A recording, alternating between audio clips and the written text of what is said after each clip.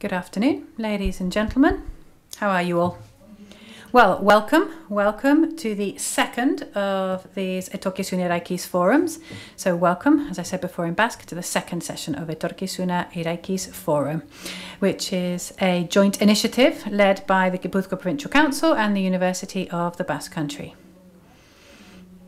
What's the point? What's the aim of this encounter? Well, to share the future challenges of Gipuzkoa with society and to reflect on them together uh, with people who have different characteristics, reflect on them uh, with experts, non experts, uh, young and old.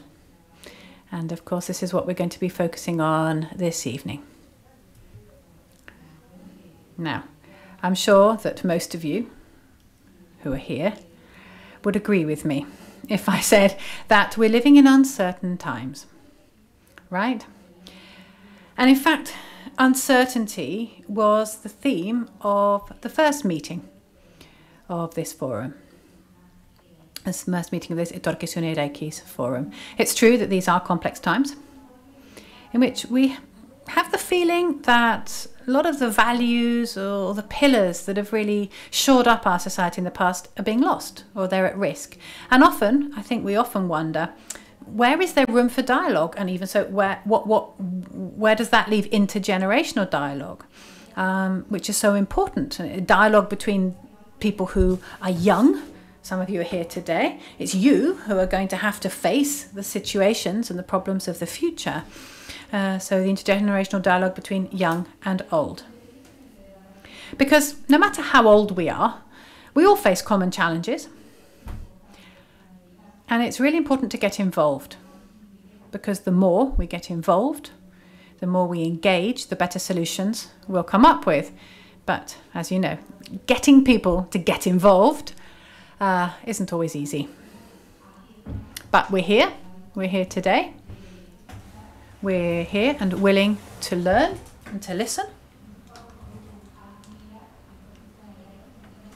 The Gipuzkoa Provincial Council has a strategy called Etorkizuna Eraikiz, Building the Future, which aims to promote a shared and open governance model.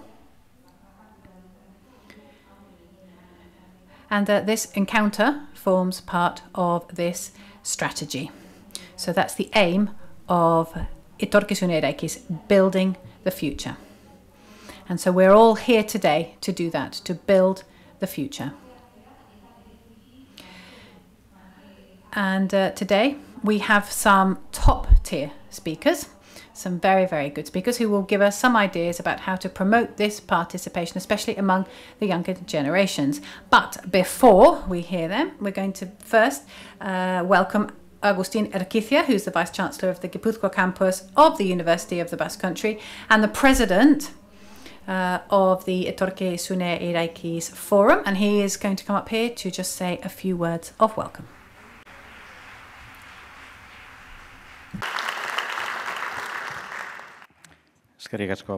Thank you very much, Vanessa. Mr. President of the Provincial Council, uh, politicians, authorities, friends, uh, thank you very much and uh, welcome uh, welcome and welcome to this second session of the Etorkizuna Eraikiz Forum, a forum which is organised jointly by the Gipuzkoa Provincial Council and the University of the Basque Country and also Mondragon University. In the previous session, we were able to see how this uh, initiative works, what dynamics it have, and today's programme uh, is following the same format. Now, the issue, the theme chosen for today is intergenerational dialogue, an issue that no, I, I think there can be no doubt generates a lot of interest among citizens uh, and generates a lot of questions to which we don't have the answer, unfortunately. But I think, despite that, we really do need to foster measured, calm reflection because this will help us to find spaces of consensus which will hopefully mitigate the anguish and the anxiety that uncertainty so often generates today, there are a lot of there's a lot of uh, inequality and there's a major gap between the younger and the older generations, the youngest and the oldest generations. And in fact, this is what uh, we say in the little handbook that we prepared for today. Now, based on that idea, the today's session will feature the following uh, events. We're going to see a video, first of all, with people from different generations. From, he, he, uh, excuse me, from her privileged position as a manager in the Department of Economic and Social Affairs of the United Nations, will speak to us about the keys to age discrimination and intergenerational dialogue, proposing some good practices. Isabelek garatutako ponentziaren gainean So, as after the presenta- uh, Isabel's presentation, we will have a short Q&A session and we'll be listening to two people who have participated or participated in the video. Then we're going to have the opportunity to get to know a real intergenerational experience which is being carried out in one of the municipalities of Gipuzkoa. And then finally, all the way from Geneva, we're going to have um, two members uh, connecting up over the Zoom platform. They're two members of an NGO who are carrying out uh, projects involving young people and children. So I wouldn't like, I don't want to finish without saying thank you to all the people who have made this possible. The President of the Provincial Council, the students from the three universities, University of the Basque Country, Deusto and Mondragon University, who participated in the different recording sessions, the working team made up uh, by Ander Arzairius, Jon Muñoa, Fernando Tapia, Amaya Zubizarreta, Peyo Gutierrez, and Mikel Manzisidor, and of course all of you who are here today for so generously giving us your time. So, without further ado, let's get going and uh, we hope you enjoy the session.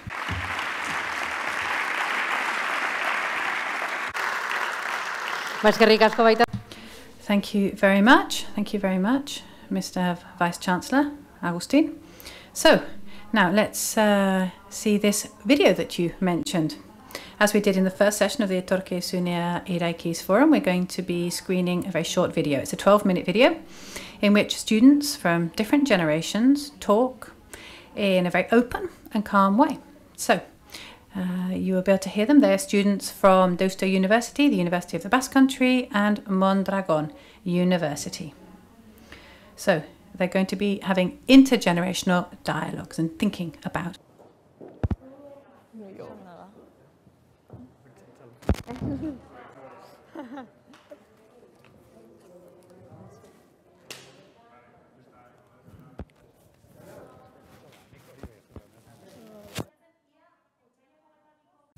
the intergenerational gap. Yo tengo dos hijas y veo que I have two daughters, and I can see that their evolution has been different from mine. Getting a permanent job, earning a decent wage, making your way in life, it's a lot harder for them than I think it was for us. And then the issue of housing, that's a constant concern. Because everyone has the right to a house, and this is what the law says, but then it isn't put into practice, or there are English subtitles, so I will stop translating for you now. Vamos, en los, primeros, en los próximos 10 años todavía, eh, ni comprando una casa, ni mucho menos, o sea... ¿Yo para qué tengo dos carreras, tres másteres, cuatro idiomas para terminar haciendo X trabajo que está poco remunerado o mal remunerado? Entonces eso te quita las ganas de, de estudiar. O sea, es triste. Ves gente de, de, de 29, 30 años que todavía están viviendo en casa. Nik kasu honetan adibidez eukineken arasotako badala etxe bizitza, e, lan prekarioa, ez dauela benetan, ez dauela aurre egiten barreto horreri ez, zerbait falta dela hori aurre egiteko. Komunikabideetan gutxi azaltzen zerate, gazteen problema gutxi azaltzen da. Hor bai badagoela benetako arrakala. Nik uste gizarteak gazteak ez ditula ondo tratatzen. Zuen aldeko oso, oso gutxi egiten dugula. Irurogi urtetik gorako, irurogi da urtetik gorako jendearen zako egiten ditugu eskari batzuk, eta zuen aldeko eskakizunik ez da egiten. Pero eh, yo el otro día estuve en una manifestación en favor de Osakidecha o me, que me mejorara la, la situación con Osakidecha y demás, y no había jóvenes, había poquísimos jóvenes. Yo no veo, a mí no me dan motivos para seguir ni votando ni luchando por una causa que creo que es justa. Me siento estafado, me siento engañado.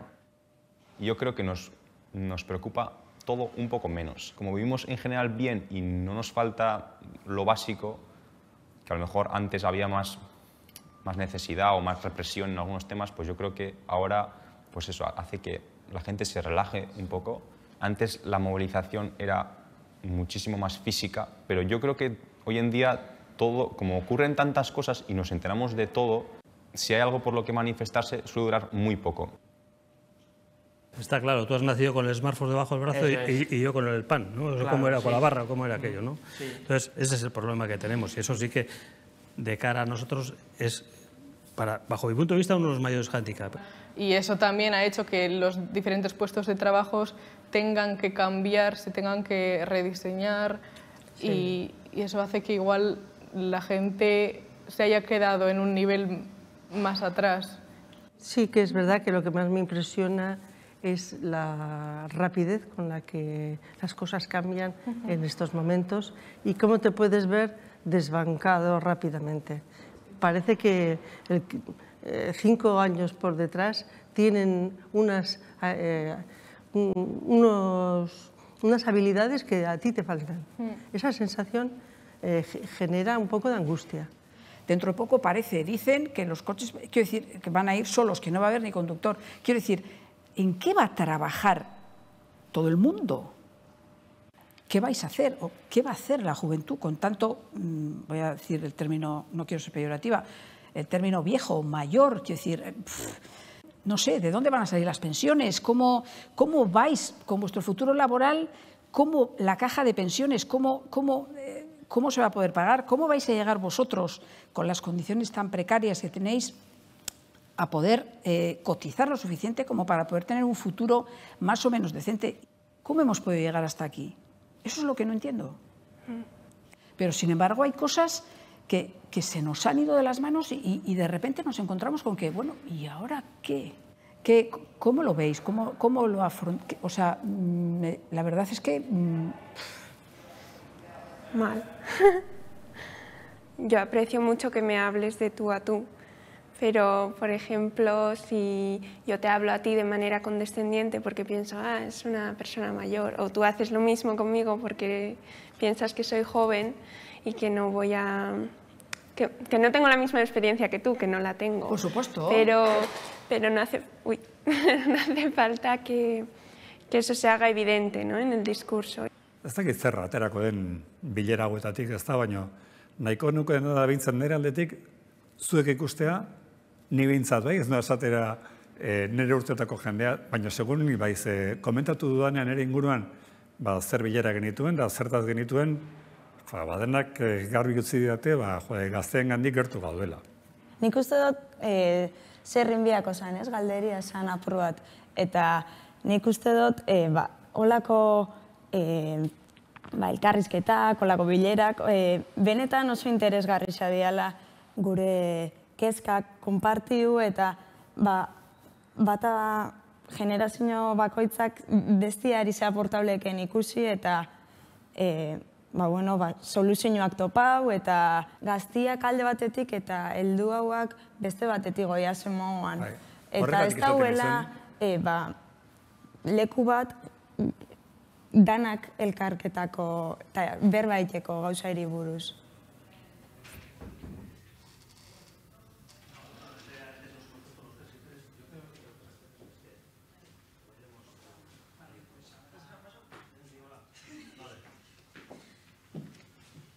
Yo observo que estamos, eh, ambas generaciones, eh, estamos en el mismo escenario, jugando en el mismo escenario. Y así como nosotros parece que estamos esperando a ver qué van a hacer ellos con nosotros, pero yo creo que sí hay una parte importante que todavía nosotros sí podemos hacer. Hoy en día yo tengo 65 años y yo creo que con 65 años en este momento eh, me encuentro con facultades suficientes para ayudar, por ejemplo, a gente mucho más joven que vosotros. Sí, por esa parte también nos sentimos nosotros apartados en el sentido de nos están pidiendo tener experiencia cuando no nos están dejando tenerla. Sí, nosotros en ese sentido reconozco que hasta habremos sido incluso egoístas. A nosotros, cuando, cada vez que nos planteaban, cuando venían gente joven en el trabajo, gente joven con ideas nuevas, deja como está, que esto funciona, eh, hemos sido muy, muy conservadores, eso ha sido claro. La longevidad es, eh, ahora llegamos bien, está, somos capaces, ¿por qué no se nos aprovecha? Yo creo que es algo que ya que nos están oyendo supuestamente las instituciones o nos estamos dirigiendo a ellas, pues me gustaría decirlo, o sea, porque bueno, ¿cómo? ¿Canalizarlo cómo? Ya no sé, pero... Los jóvenes tenían que estar representados por los partidos políticos sin pertenecer al partido. Eso es lo que quería comentar, ¿no? Que integrarse en este mundo, intentar cambiar, no voy a decir el sistema, que parece muy idílico todo eso, ¿no? Pero cambiar las formas de hacer las cosas que tiene la política, la administración. Eso eh, es que, es que llevamos... El, discurso que nosotros con 50 años escuchábamos, seguimos escuchando el mismo discurso, los mismos discursos en la gente que nos, que nos dirige. Eh, ne ustez, gazteazkon problema, eta nizatu baten ere hor sartzen naiz, naiz eta azken aldin saiatzen naizen pixkatenteatzen da, ez dakigu gauza askok nola funtzionatzen duten. Nik uste hori bai eskenean gazte baten prozesua dela, ez? Ikasten zoia zela urtia pasaikin doia zein einien be bai. Osea, ezin zara, ja, ba, ogoi urtekin ja munduan jakin ja, egon ez, e, irurogeik imoan, hori imposiblia da. Nik adibidez nire inguruan asko ikustet aktivismo politikoa, asoziazio asko daude adibidez, etxe bizitzan eta hola, baina egia da, iruditza zaitela, ikuste diteula, ba, beste denboa baten gau basean partiduak bezala. Ez da egin nola esplikau. Eta berko genura, ba, aktivismo politikori, baina partidu berriak sortzen azteko. Baina taldiak badaudela, pentsamendu politikoa badaola, ez gaude representauta politikan, da hori hola da. Eta ikuste, e, ikuste guzuelako, zueke bai, ba hori, konservamos. Estamos bien, dakauna dakau, ondo gaude, zertako zoze berria. Pero llega un momento que hacen tope. Porque las grandes decisiones, esas que hay que cambiar para que vosotros, pienso yo, ¿eh? podáis, eh, digamos, despegar, ahí es donde, donde, donde se para, donde no se os permite, que es posible que seamos nosotros los que estemos frenando. ¿eh? Mm, mucho también en las redes sociales, que eso también tampoco lo veis, y es mucho más fácil hablar, hablar en las redes sociales. Pero hablar en las redes sociales, al final, ¿a qué te conduce en la práctica? O sea, todo ese tiempo que dedicáis a todo este, esta, este, vamos a llamar progreso, que sí es progreso, yo no lo dudo, pero luego eso, a la calle, a la gente de pie, por ejemplo a mí, no sé a mis compañeros, pero eso eh, no llega. O sea, sí, se escribe en el anonimato, yo digo tal, yo hago cual, pero ¿y cómo subo? ¿Cómo paso? ¿Cómo llego más arriba? ¿Cómo llego a que me oigan? No sé cómo decir. Eso es un poco lo que yo veo que no, que se queda ahí. Bai, eta gero gauza bai, dazkaula asko. Eta pertsona batentzako erresagoa estimulo eroso bat, ba, TikTok bezala, eh? ez da edo sare sozialak edo seriak, ba, gaur egun bezala Netflix, aizer, despiste horiek, ba, horrek gaitu pixka bat benetako preokupaziotatik alden du pixka bat, ez da? Eta nolaztuek zuen garaian, ba, genetzen duzen hainbeste despiste, pixka bat errealidadea muturen aurrean zenuten, eta orduan horrek igual inarazi duzuek pixka bat gehiago mobilizatzea, eta hori, ez da, eta guk, ba, gure mobilizazio gehiena gatzen dira, bat Twitteren, esango nukenik.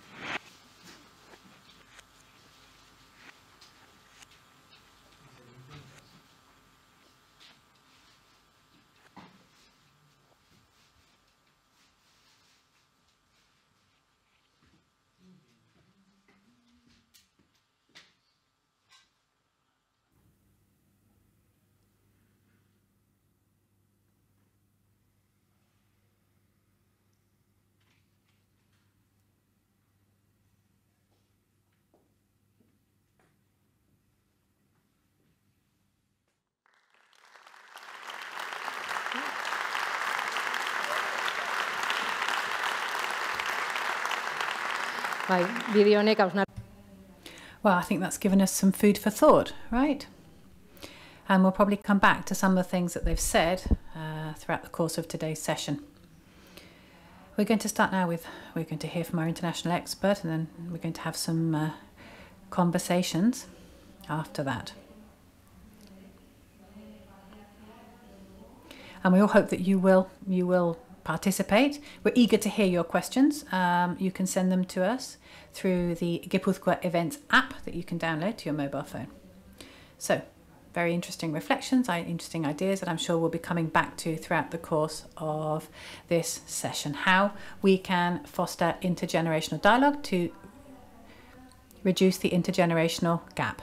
Now, we would like to invite someone who's been deeply involved in the organisation of this meet- meeting, Mikel. Mancistido. Mancistidor. It's a bit of a hard surname to say, I apologise. Mikel Caixo. Mikel, hello. You're going to be telling us a little bit more about this meeting, right? Well, there's always a, a silver lining to every cloud because it was great to actually hear, see a little bit of the video about uncertainty because I think it's refreshed our memories, right? Yes. Now, of course, you can see that what we're doing has some kind of logical chain to it. There's some kind of logic behind everything that we're doing. So, uh, what, what, what should we expect from today's session? So, we'll pass the floor to you. Thank you very much. Vanessa, President of the Provincial Council, um, colleagues, friends, good afternoon, everyone. So, yes, today, as uh, Vanessa has just said, uh, this is the second session. Um, first of all, we focused on uncertainty, and today we're focusing on intergenerational dialogue. So, let's start at the beginning, right? What is intergenerational dialogue? Uh, it's always important to, you know, all of us, for all of us to agree on what we're talking about. Now, I'm sure there are uh, things, uh, there are things, we have things in common with uh, intergenerational solidarity, uh, different responsibilities, uh, opportunities, participation, engagement. All of these things are connected, of course. But once we have decided what we're talking about, we, the next step would be okay, is it useful? Is intergenerational dialogue useful, necessary? And what's it useful for? Uh, what's it going to help us in? How is it going to help us? Now, these are questions that we're asking ourselves. Um, and they're not idle questions by any stretch of the imagination. They're very necessary questions. And if the responses to these, the answers to these questions are affirmative, so yes, it is something that we're interested in, it is something that's going to be useful, the next question will be well, how do we go about doing it? How do we practice it? How do we um, practice it? I'm sure we practice it every day, but how do we improve it? How do we improve our practice? Uh, if we want to have a better society, a better governance, if we want to have a greater degree of intergenerational dialogue, how should we go about that? And uh, how should we do it in institutions, in politics, in governance, in society, in associations? Which is why we have organised this event, this evening event, with some guests who are going to help us to answer this question. I mean, there's no definitive answer to these questions, no one has definitive answer, but they're going to give us some clues and some tips that will be helpful for us, I believe, from the most general level to the most specific level. So, the general vision is going to be offered by Isabelle Legare. I hope I've pronounced her name correctly and apologise if I haven't. She's the uh, she works at the division of the UN, which is responsible for social affairs, and she is she heads up the youth division, uh, and also uh, works on the issue of intergenerational dialogues at the UN. And she's going to help us to identify. Uh, sort of how you can see this issue from a most from a global point of view. I mean, what's more global than the United Nations, right? So, uh, how is the United Nations? What's it doing to tackle this, and and how, what what are the, the general overview of this, um, and what are they doing in different countries? What are different experiences? She's going to give us a very global overview, a general overview of the issue, and then the next step will be moving from a more global vision to local experiences and practical experiences. So, how we try to put these large scale principles into practice, obviously, with our mistakes and our errors, but with our achievements as well.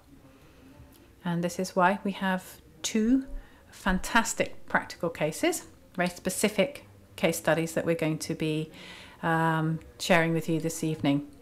We have uh, the intergenerational dialogue in Legazpi, and of course, we have the mayor of uh, Legazpi, Koldobike Olabique, and Maria Ruiz, who's been helping with the organisation of this experience. And they're going to tell us about what they've been doing, what they've learnt on the way, which is always very interesting. And then we're going to have another experience, another practical experience. Uh, to, uh, we're going to uh, hear about online because unfortunately they were unable to be here in person today. But this is an international organisation with headquarters in Geneva, Child Rights Connect.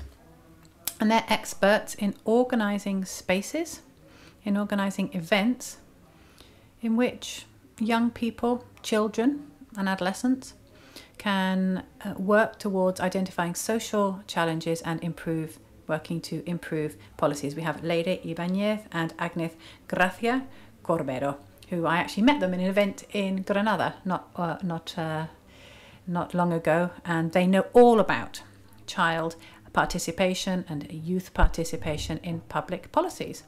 So, we've got a very exciting evening ahead of us. We're going from the most general to the most local, and uh, I think the best thing that could happen would be that at the end of this evening's session, uh, our vision will have been enriched.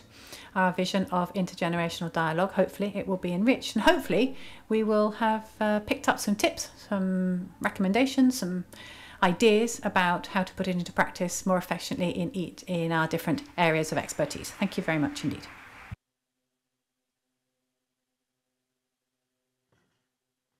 Bueno, so now it's time to give the floor to Isabelle Legare. Welcome to the stage.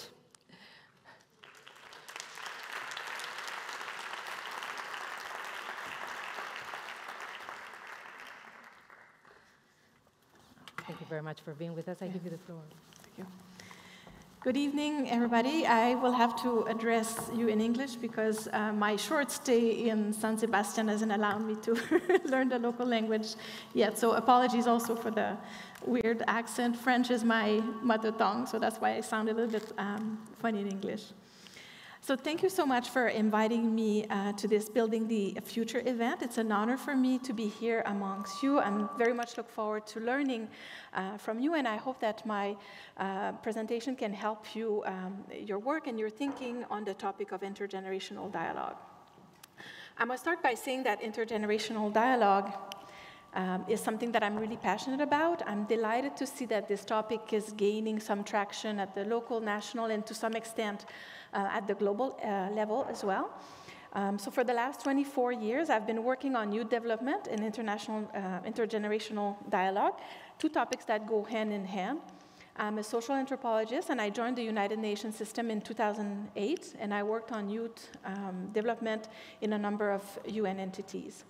Since 2018, I've been with the Department of Economic and Social Affairs um, in the division that works with social groups who might be in vulnerable situations, including young people.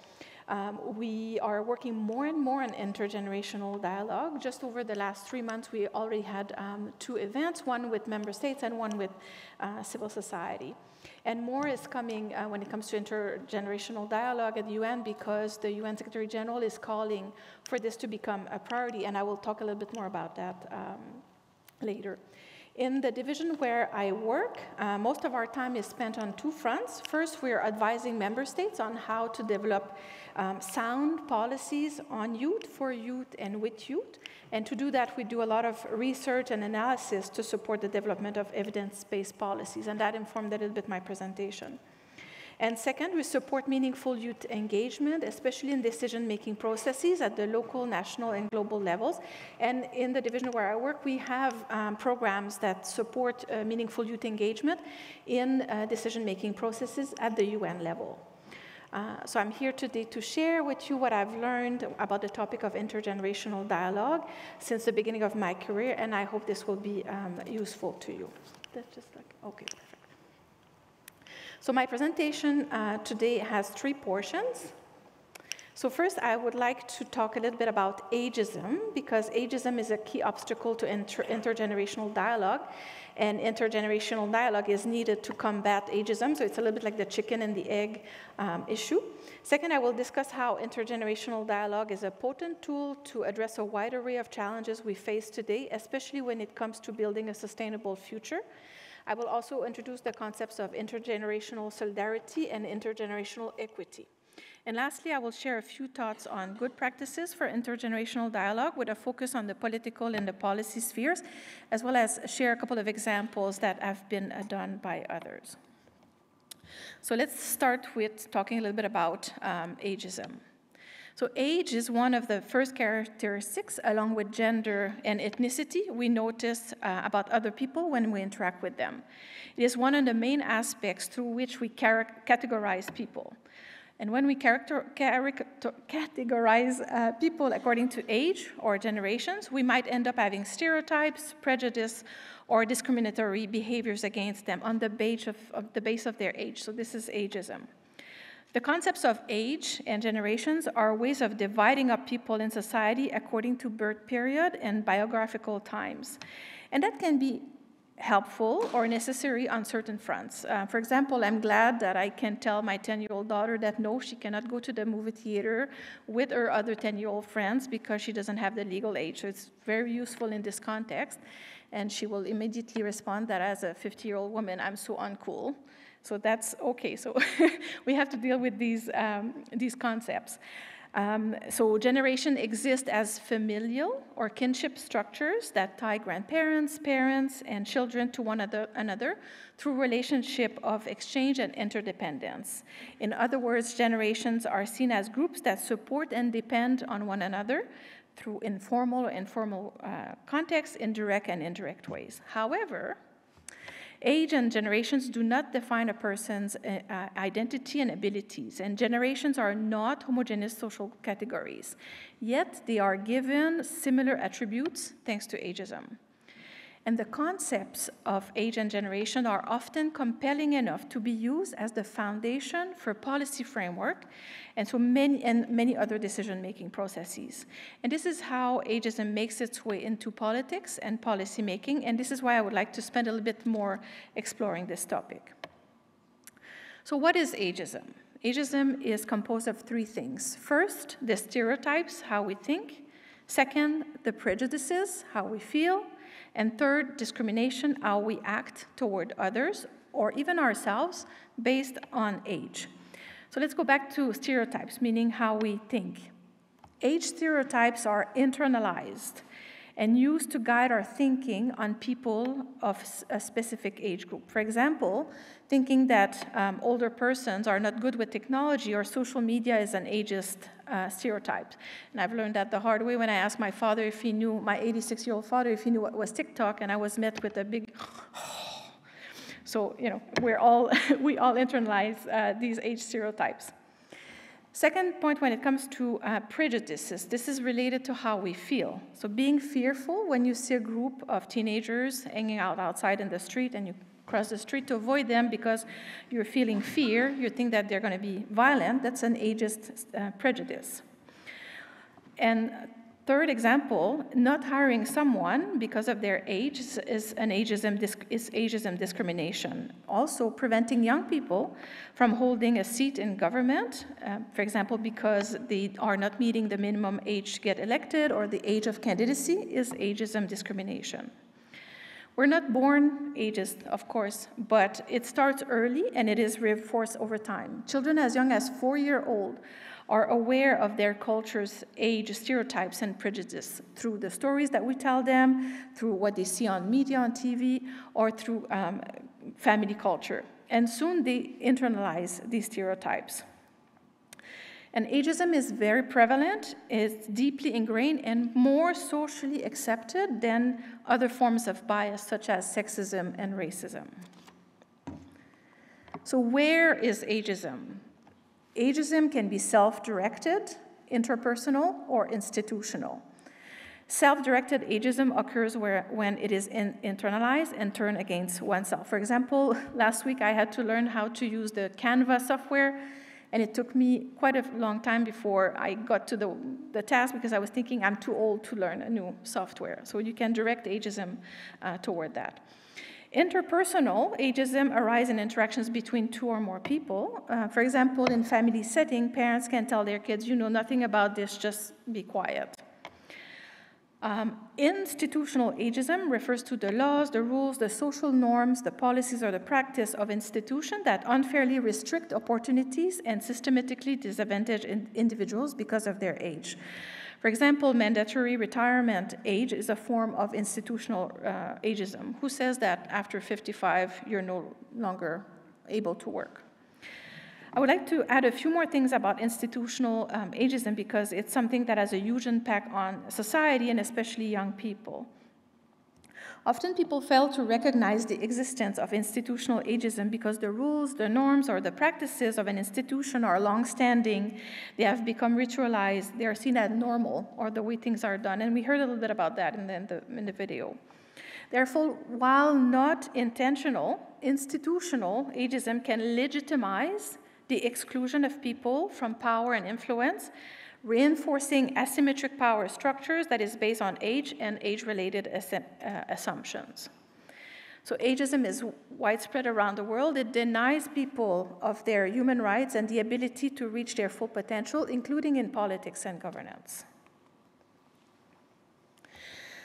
Um, I'd like to talk a little bit about ageism against youth, but I need to reiterate first the fact that ageism uh, affects all age groups. Uh, but ageism against youth is not talked about sufficiently in the public sphere. Ageism against uh, youth manifests itself across a range of institutions, including the workplace, the legal system, and politics. Ageism against older person is better documented than ageism against youth. For younger people, we have limited data. Um, I hope it's going to change soon. But one area of research that is increasingly um, getting looked at uh, over the last few years is the exploration of how ageism affects uh, young people in politics. Findings indicate that um, there's a tendency to doubt, deny, or dismiss the voice of youth, regulate their identities, we tell them who they should be, and generally limit the, their efforts in political and advocacy movements. And we heard about that also in the, in the video. So we'll come back about uh, on the topic of ageism against youth in politics in a minute, but before I would like to share a slide about uh, Europe. So this graph is only about uh, Europe. So in Europe, you can see that younger people report more ageism than other age groups. So on the left-hand side, I don't know if you can see, it's 15 to 24. Um, so it says that 55% of youth from 15 to 24 are reported being treated with lack of respect and 41% being treated badly. So if you go to the other side of the graph, the older persons, they are the second group who report the most ageism. So it basically says that in Europe, youth are the social group who reports the most ageism against them. So and Europe is the only region for which we have we can we have data to compare ageism against uh, between groups. So hopefully that will change soon. We will be able to have a better idea of what's going on uh, globally. Okay. Um, so now let's go back to the topic of um, ageism against youth in politics the issue of uh, ageism against youth in politics translates into young people under, under 30 years old, making up to 2.6% of the world MPs, member of parliaments. Around 25% of the world single and lower houses of parliaments have no MPs under 30 years old. And 73% of the world upper houses of parliaments have no MPs age under 30. So close to 70% of countries make a distinction between the legal age to vote and the legal age to be eligible for a political position. So that's the voting age versus the eligibility age. The legal age to be eligible for a political position in the upper chambers range from 18 to 45, with an average age of 26.6 years old. This means that on average, you'd need to wait 10 years, so between 18 and 28 to be eligible to hold seat in upper chambers. For the lower chambers, the average waiting time is shorter, around 3.5 years. So it's interesting to see that youth are okay to vote at 18, but they are not okay to hold um, or to a political position or start a political power. Things such as youth quotas, lower eligibility ages, proportional representation, networks of young MPs, youth parliaments, and inclusive parliaments are all factors that can increase the number of youth MPs. But how do we get there? In part thanks to intergenerational dialogue.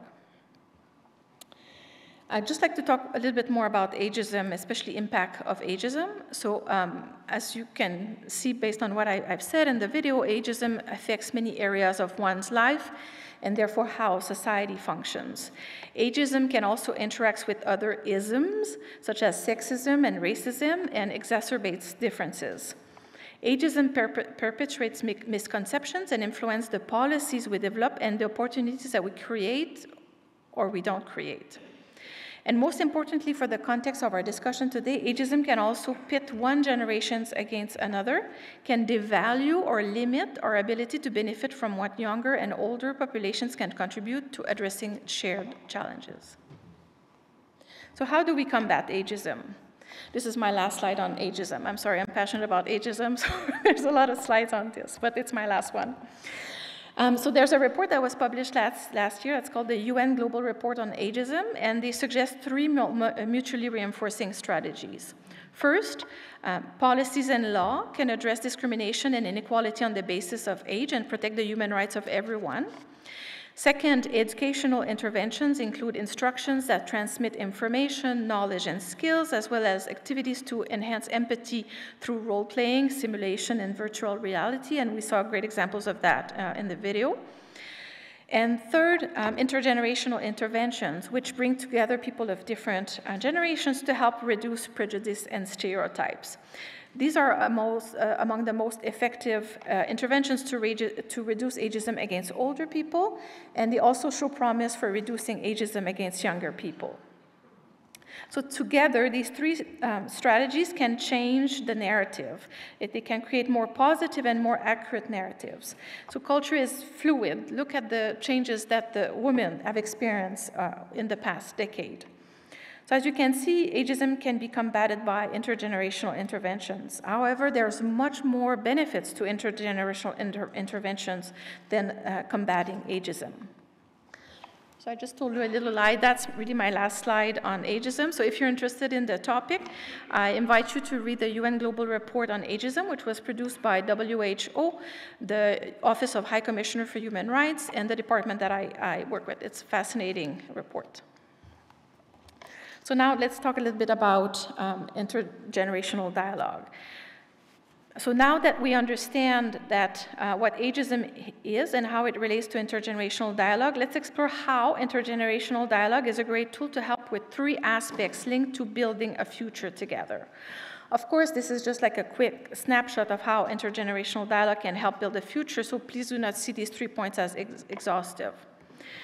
Um, so before I go any further, let me just say that the term intergenerational dialogue is generally understood as meaning interactive discussions and exchanges through which all ages, all generation, can share experience, knowledge, and viewpoint on an equal footing. And in the video, that, that was clear that this is what was happening.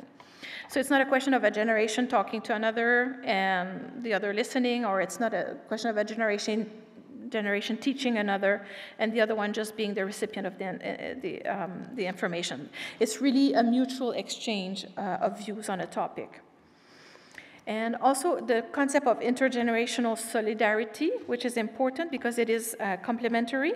So basically, it's social cohesion uh, between generation. It can also be seen as uh, working together to address a joint issue. So intergener intergenerational solidarity is a little bit more about um, actions. And later on, I will talk about the concept of intergenerational uh, equ equity. Um, so let me go back to the three things that uh, intergenerational dialogue can help with in general, but even more when it comes to building the future. So first, intergenerational dialogue can help you uh, increase youth political participation. Second, it can help foster better policy making and better decision making. And third, it can help foster longer term thinking. So let's go back to the first point, which was addressing obstacle to participation. And that's a second topic that I'm passionate about, so bear with me for the next couple of minutes. Um, so young people are often accused of um, uh, suffering from political apathy, meaning they don't have interest in politics. But are they really? On the recent, over the recent past, in all corners of the world, people have been calling for increased inclusion in their political and public institutions. Inclusiveness is something critical here because people will not trust institutions if they do not feel represented by them. So also if a group is not represented in political or public institution, that group might start to question the legitimacy of that institution. Also, contrary to popular belief, institutional legitimacy is not a permanent condition. Increased pressure from civil society and especially young people is generating changes, setting new precedents. That's pretty exciting to, to see. Protest movements around the world have shown that the legitimacy of public and political institutions increasingly hinges on the capacity to meaningfully engage diverse, group, diverse groups especially including young people. I should add here that this is a phenomenon not just at the local, national level, but also at the multilateral level, including the UN and all other members of the multilateral system. You'd say that they do not feel represented in the multilateral system and they're calling for major changes, and we are listening. So, if youth are not engaging in traditional political and public institutions, what are they doing? In many cases, they are creating and engaging in their own platforms. They create and use alternative channels and platforms. An example of these alternative platform is online engagement, and one of the young uh, men mentioned that in the, in the video. So, and so online, platform, online engagement facilitates youth participation in individual or collective actions to improve the well-being of their communities. Online, online youth movements are increasingly powerful and able to influence or shape the public and political discourse on a global issue. Um, remember during the Arab Spring, the importance of online mobilization, how it shaped the Arab Spring movement. Um, another example is the creation of the Youth Climate Action Movement. Uh, young people calling for climate action made clear their discontent with how public institutions were engaging or not engaging on this issue, and the Youth Climate Action Movement had the opportunity to make its voice heard internationally and gain space in high-level gatherings, including at the United Nations. Maybe you remember when Greta Thunberg came uh, to the UN and made that face when she saw Donald Trump walk by, so she was there for the Climate Action uh, Initiative. So young people often tend to turn away from traditional channels of political participation and engage in alternative forms, not because of a lack of interest in politics, not because of political apathy, but because of the frustrations with formal channels that might be ineffective and outdated.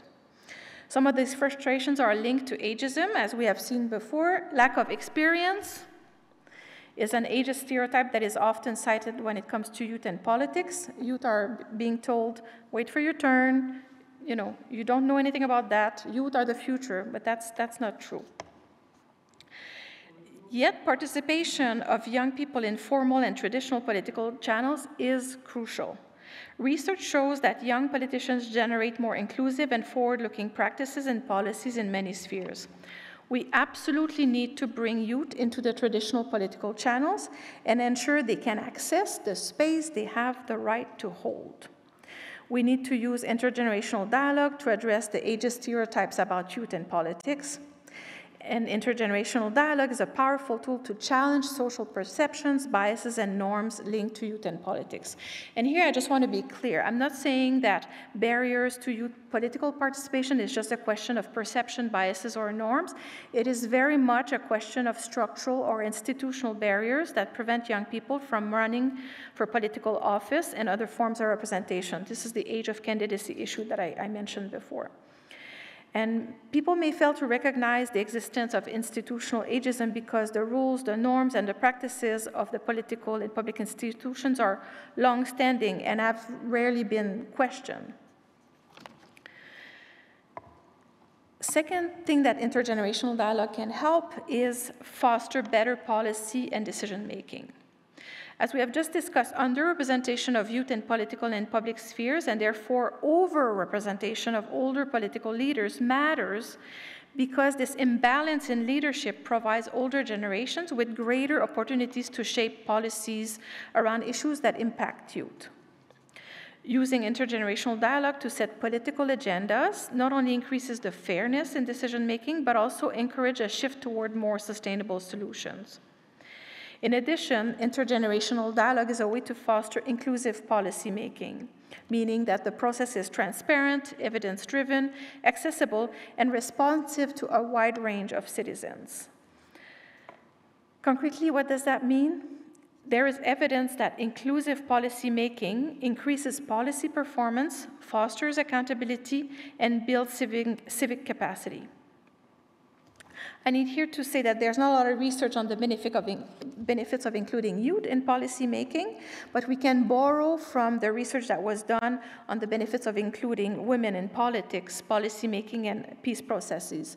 For example, there's ample evidence that suggests that when women are involved in uh, political peace processes, the duration of the peace agreement is much longer than when they're not. So that's been proven without a doubt. There's also evidence that women's political participation results in tangible gains for democracy, including greater responsiveness to citizen needs, as well as increased participation across party lines and ethnic lines. So I hope that one day we have more data on youth inclusion in, in politics and, and policy makings. Um, and so if you have any information on that or if your organization is working on that, please uh, let me know.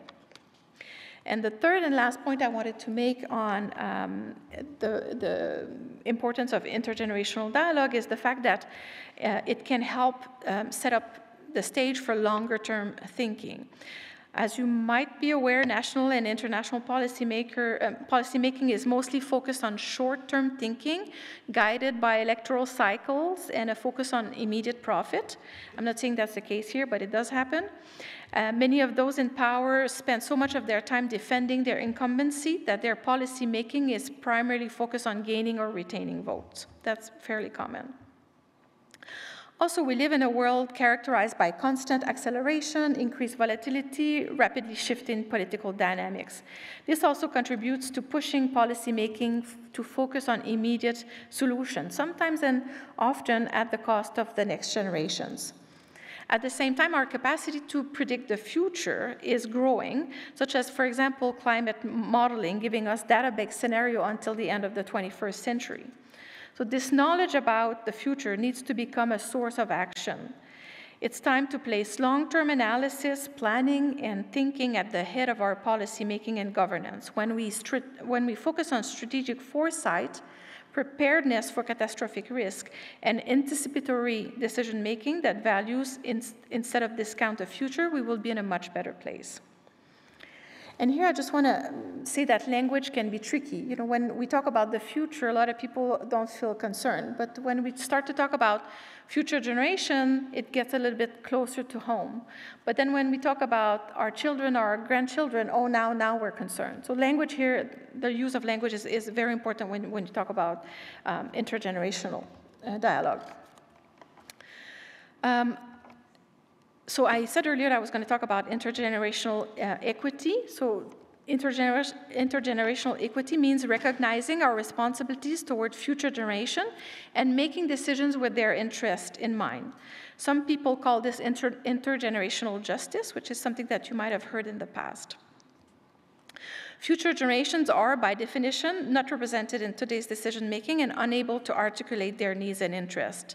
Yet, we need to keep them in mind when we make decisions.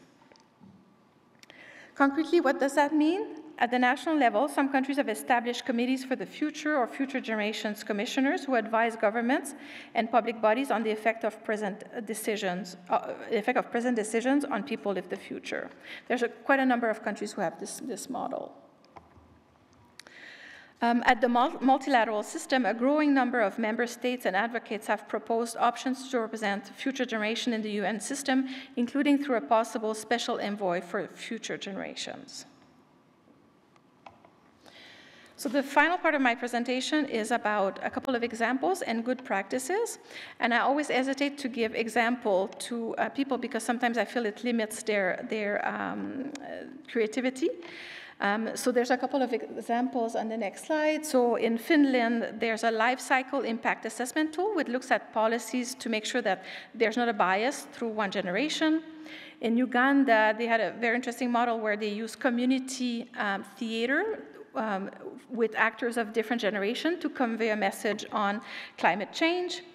Uh, in Canada, there's, a genera- there's an organization called Generation Squeeze. I think they, they should win the best, the name for best uh, organization's name, uh, who advises the Canadian government on how to make sure that their policies are fair across generation. Um, and the last example is um, something that we manage um, at the, department where I work, which is the inclusion of young people as official delegates, uh, uh, like member states delegation. So they come to the General Assembly and they talk on behalf of um, member states. And I will conclude with a couple of good um, practices um, on intergeneration, intergenerational dialogue. So these models are located on a continuum uh, or a spectrum of social contracts with varying degrees of, of strength. Um, so intergenerational dialogue can be anchored in very weak social contracts, such as, for example, okay, I'll talk to you, I'll consult you, I'll, I'll listen to your advice, but I'll be the one making a decision. So that's like a fairly weak social contract, all the way down to the other end of the spectrum where there, it's shared leadership, that where we make decisions together. Um, so here you have a couple of examples. Some of them are related to um, the examples from the four countries that I mentioned before.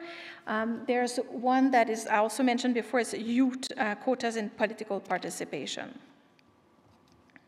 And there are a few more examples. And I, I had meetings with uh, people from the region uh, this morning. I can see that there's a lot of these things that are already being done, intergenerational dialogue in uh, the context of school, um, you know, online interaction, funding opportunities projects, community-based projects that receive funding.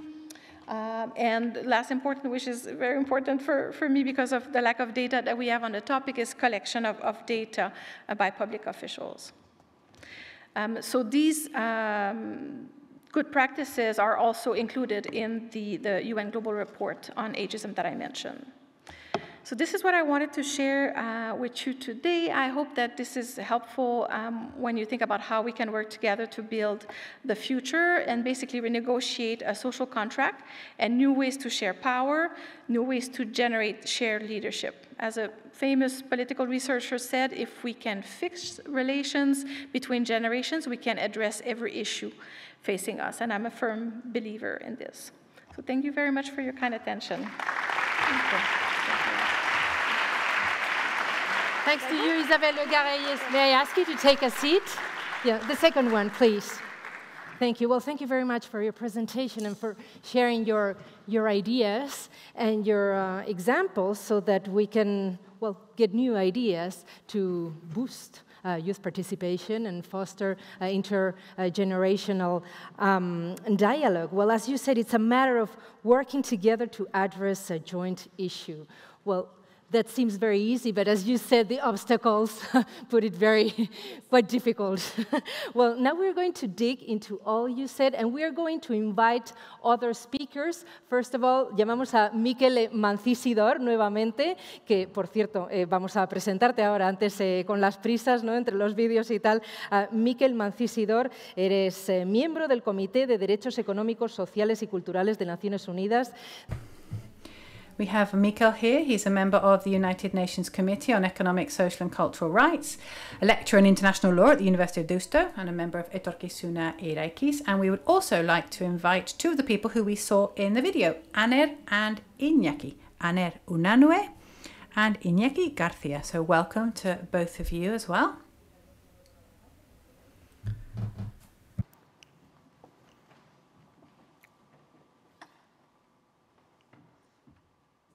Así que bueno, vamos a abrir.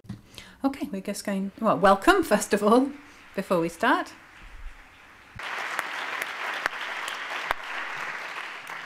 Bueno, hemos escuchado, os hemos escuchado. So, we've listened to you, we've heard you in the video, and you're here now with us. And now we are we are receiving questions from the floor, from the public, so we'll need to leave space for that as well. Uh, you can send in your questions through the Gipuzkoa Events application. And uh, you can you can just click on the dialogue with Isabel and uh, you can ask your questions there. So Mika, the floor is all yours. Thank you very much. Thank you very much, Isabel, for your presentation. Oh, you've uh, talked about so many ideas. I like the first silhouette that uh, we saw. The silhouette that, I don't know if you remember, right at the beginning of her presentation, she talked about stereotypes, prejudices, about how we feel, and then discrimination is how we act. She explained that. Why did I like the silhouette? Well, um, because it, it's it, we would have sort of otherwise we, we'd have thought that other people have stereotypes but not us but when we see a silhouette we sort of think oh we have them as well so what are the stereotypes that we have i really like that. That really helped me to ask me that my question what are the stereotypes and prejudices that i have? But it's also a bit of a, a provocation because I wanted to see if there was a stereotype in the presentation itself, and just to be a bit provocative, don't take it the wrong way, but there was the idea that um, the mentality or long term thinking is something that young people do more than old people seems a bit contradiction. Oh, well, it seems logical in a way because they're going to be living for longer, whereas as we get older, we don't need to think so much in the long term. So it should be something that interests young people more than older people. But in practice, is that always the case? Or do we not also think sometimes that maybe uh, older people have a, a longer term view? I'm, I'm just asking, I'm not stating anything. I'm just questioning that. Uh, you know, because it's an old man who always plants a tree that's going to provide shade a hundred years down the line, whereas young people sort of want things to be more immediate. They're sort of used to living in this immediate society. Do you think there's a bit of a stereotype there as well about uh, maybe when we think that thinking in the long term is something that young people do, but in practice it's not always like that. Other aspects of the presentation that I think that touch on the heart of what we're trying to do here is uh, when you talked about uh, political apathy. Mm, uh, is it apathy really? I mean, you questioned that, right? Uh, but there is a distance of young people they're, they're distant from traditional politics as well, or politics as we have traditionally understood it. There, there seemed to be a gap between them and political parties, for example. And another very interesting aspect that also came up time and time again in the video was what you called equity, uh, intergenerational equity. Uh, in the video, we talked about uh, pensions. We could also talk about public debt. Um, who's going to actually have to pay back that debt? Well, probably young people. So, my role here is not to give another presentation, but just to introduce the debate. I just want to mention something else that perhaps we can talk about, and that is education. You've said that in order to carry out or to foster this type of dialogue and fight against these stereotypes, we need policies, rules, dialogue, but we also need to work on education. That's what you said. Perhaps you can talk a little bit about that. You, is there any experience that has to do with education? I imagine that there's quite a lot of people here who work in the educational field. First, I just need to say that I like um, provocative questions, so thank you for that. Um, so when it comes to education, uh, one practice that's happening in schools that is really proven to be really impact, impactful is role play. And so there's a lot of research on, you know, uh, bringing people from different generations into the classroom and playing the role, the, the reverse role. And that has been um, researched and proven as being very effective in debunking some of the stereotypes that younger people have about older people and, and vice versa. So role playing in school is, is great uh, model. Um, and the, the beauty with the educational um, solutions that are suggested in, in that report is the fact that they can be customized according to the local context or um, to the, you know, the objective, the specific objective that is um, conveyed in, in the school. So there's, and that's why I'm hesitant to give examples because it reduces a, a, a little bit um, what, you know, what people think that is the, the, a good approach to, to say. Uh, but yeah, role playing is, is great and also examining um, textbooks or stories that are shared in school, deconstructing them to identify stereotypes. And that's an exercise that was done in quite a number of schools, and uh, teachers realized that some of the books that they read to the, even the little ones, like in kindergarten, were basically already reinforcing stereotypes. So looking at a, a book or a story through the lens of um, intergenerational dialogue and also ageism allowed a lot of teachers to make better choices uh, in terms of the books that they were sharing with uh, kids. So that's just two, two examples, but uh, like I said, there's like a plethora of, of models that can be applied to the education um, sector. Okay, thank you. Y como esto del... Eh, right. The best thing that we can do, really, is to learn by doing, I think uh, everything that has to do with intergenerational dialogue. Ander, would you like to say something? Aner? Well, I don't know if this is an issue that has been. I don't think you mentioned it too much in your presentation, but I do have a doubt. You come from the UN, and I'm sure uh, you're aware of what's going on in different countries. So, my question is the following This gap that you talked about, the, the gap, is it the same everywhere? Or is it greater in some countries than in other countries? And what what what influences that? Why is the generational gap different in one country than another? Is it cultural? Is it linguistic? Is it political decisions? What is it that affects that? I missed the beginning of the question. So you're talking about the political apathy? Yes, I was asking about uh, that the gap between different generation, generations, uh, if it is uh, the same between countries. Mm -hmm. Okay, I understand. Um, so I mentioned also in my presentation that um, ageism against young people is not yet sufficiently researched. We don't have a lot of data for all over the world. There's a little bit more data on, on Europe than other countries. So first, what I'm about to say is anchored in the fact that we need more research to better understand um, ageism in different, in different regions.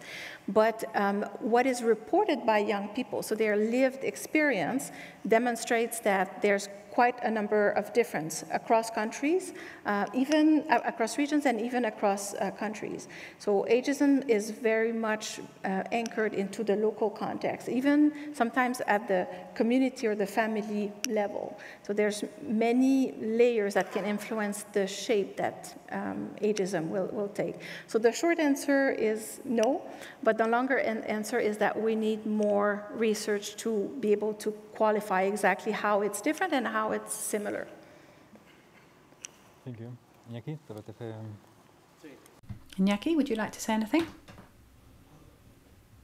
Well, first of all, thank you very much.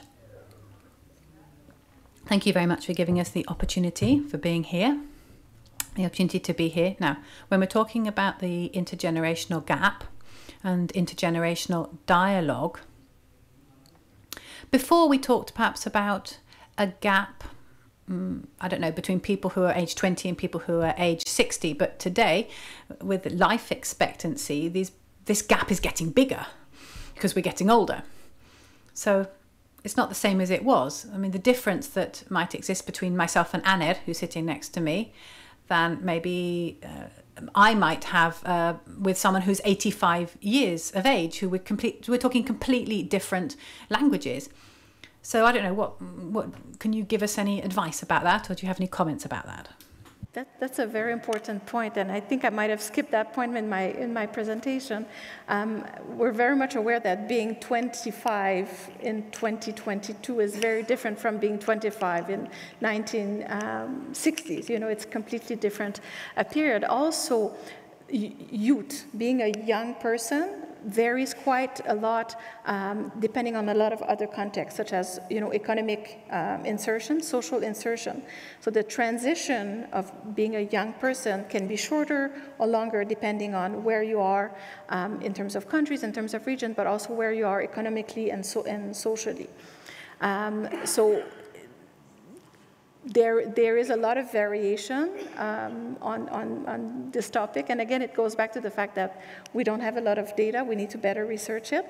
Um, the data that we have right now is what young people uh, report to us. And we can already see a lot of variety, but I'm sure that if we have more information, we'll be able to find uh, trends. And it's only when we better understand the phenomenon, I think that we'll be in the best position to give advice on how to, to address this. It's, this topic is a, a topic that is fairly new um, and needs to be better researched. We're just in the awareness raising uh, phase. Creo que hay preguntas, ¿no? Sí. Sí, eh, porque es que nos están llegando unas cuantas. Right, we're getting some questions from the floor to Isabel, so I'm going to read them out now.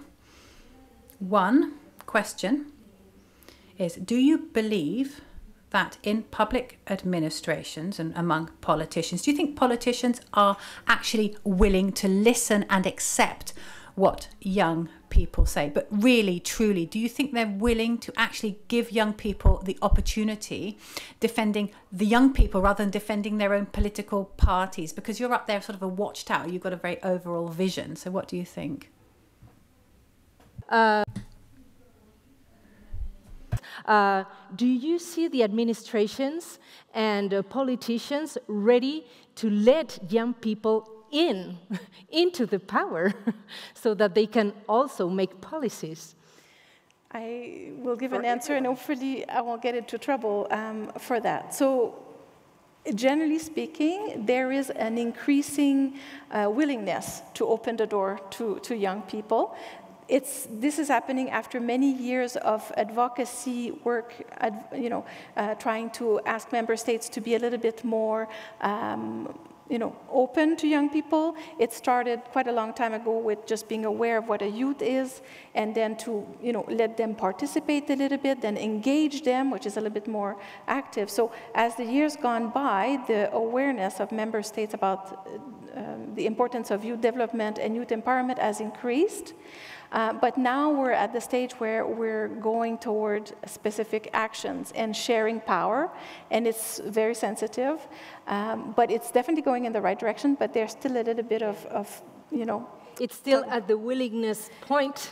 yeah, but the actions are not, you know, it, it, I'm talking in general, there's a lot of great examples, um, but generally speaking, there's still a lot of fight for keeping the way mm, things were in the past, um, but we're moving in the right direction, so there's more work that needs to, to be yeah. done. Baina gero kejatzen zarete gazte, o sea. But then, uh, older people say that young people, are, they're always on Twitter, they're not doing anything, but maybe they just don't have any other options. It may be. I don't know. I'm just saying in general. I don't know if that's true. Uh, there's perhaps another very brief question. Count for young people uh, feelings of apathy toward politics, the lack of opportunities in a market occupied already by baby boomers. Uh, es que o sea, es la primera vez que lo leo y la verdad es que no lo no, no Yes, I read the question. That was the first time I read the question. I don't really understand it very well. Let me just read it again.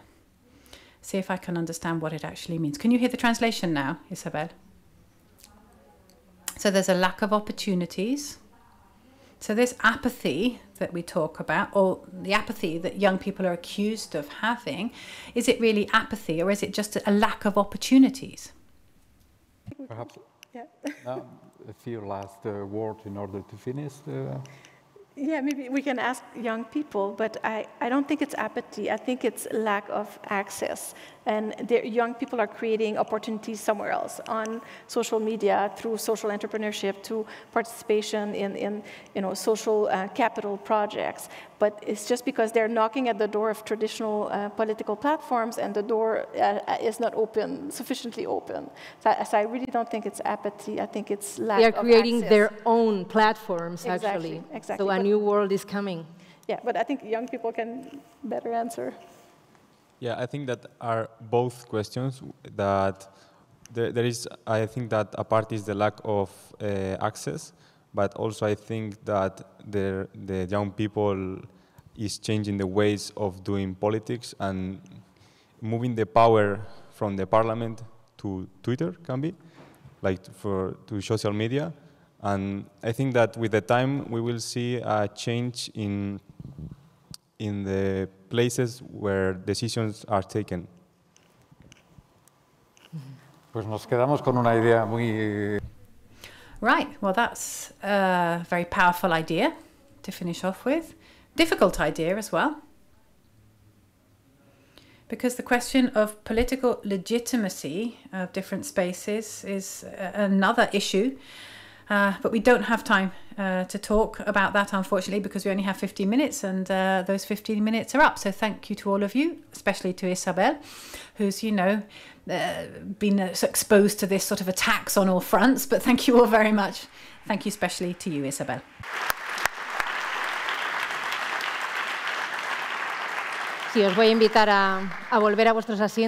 Right, I will invite you to please retake your seats. Thank you very much, Iñaki, Aner, Isabel, and Mikel. Right, well, after looking at the most more international side of things, and we've got some ideas about how we can reduce the intergenerational gap, we're going to just come closer to home and to see uh, what's being done closer to home uh, to try to close the gap between generations and to foster gener- intergenerational um, dialogue. And we don't have to go very far, we just have to go to Legazpi. And we have Koldobike and Maria Ruiz, both of them from Legazpi. And they are coordinating uh, this, uh, this initiative. So, welcome to both of you. Kaixo. Legazpi aitzin... So, we often say uh, that Legazpi, in Legazpi, you are pioneers in social policies. We often say that. You're also pioneers in fostering intergenerational contact and intergenerational experiences. So, you're going to talk to us about your experience. The floor is all yours. Well, good afternoon, everyone. First of all, thank you very much for giving us the opportunity to be here today to talk about this experiment that we're carrying out in the town of Legazpi. We are pioneers in social policies. Uh, 40 years ago in Legazpi, we set up the uh, home service uh, for a home service for um, older people. In 1984, we built the uh, retirement home, which is today the Civic Centre, the Social Centre. In 1998, we have 22 assisted living apartments, and today we have a budget of 11 million euros. And of this 11 million euros, 20.5% are earmarked for social policies. We have a day centre, uh, we have a day care centre as well. We have different projects uh, to try to fight against uh, unwanted loneliness or solid or um, and we are pioneers. There are in Legazpi there are 8,400 inhabitants, and 26.3% of them are over 65 years of age and 34.4% of the population of our municipality is older than 60 years. So we have a fairly aged population. I think we are perhaps the most aged population in Gipuzkoa, and this generates certain necessities and certain needs. In 2018, we had the opportunity uh, we had a, a very op- interesting opportunity uh, cropped up. We were able to buy an entire building. At uh, the time, we thought it would be a good place to offer our social services, not just to older people, but to young people as well. Because, as we said before, um, we have lots of uh, young people who have, I don't know, three degrees, four masters, they speak five languages, they're incredibly well qualified, but when they actually get their first job, they have a really, really low wage and they simply can't afford to buy a house. So we thought, well, perhaps we could, you know, generate projects, co-housing projects. Um, and uh, we have assisted living for older people, but maybe we thought perhaps we could take into account young people as well. Um, and offer them housing at a, a low uh, rent so that uh, they could live there during the early years of their uh, career, their professional career. We didn't really know how to do that. So we went to the Provincial Council of Gipuzkoa and they got us in touch with the foundation called Adinberri. And they said that they wanted to experiment with an intergenerational project, and we decided to participate. So we're quite daring, we're quite audacious, and we decided to just, you know, fling ourselves into the fray. Uh, and Maria is here. She is um, a representative of ISEA, which is a cooperative which has helped us. She's actually the same age as my daughter. So you can see that we are, in fact, collaborating intergenerationally. Well, I think uh, Koldobike has described our context very well. And this is the context in which uh, this project uh, is located. It's a project led by ISEA, and the aim is to create an intergenerational space where we can um, transmit knowledge and to foster the intergenerational bond through collaboration, uh, active aging. And to do that, we wanted to um, set up uh, or to enable intergenerational cooperation and experimentation through this space that we have set up.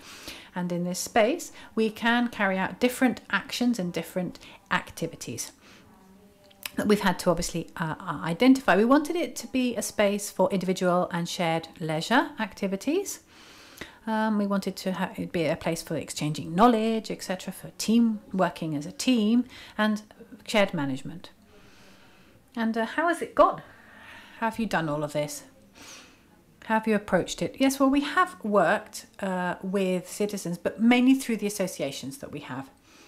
Uh, we set up the Gizarte Lab uh, project, which are sort of social laboratories, and we work with the provincial council. And in 2019, um, when we still didn't have this intergenerational project, but back before then, the provincial council suggested that what we might want to do is to create sort of space for reflection um, with people aged between 45 and 55 years of age. So we created this group of people uh, with representatives from different uh, political groups and also representatives from different associations from the municipality.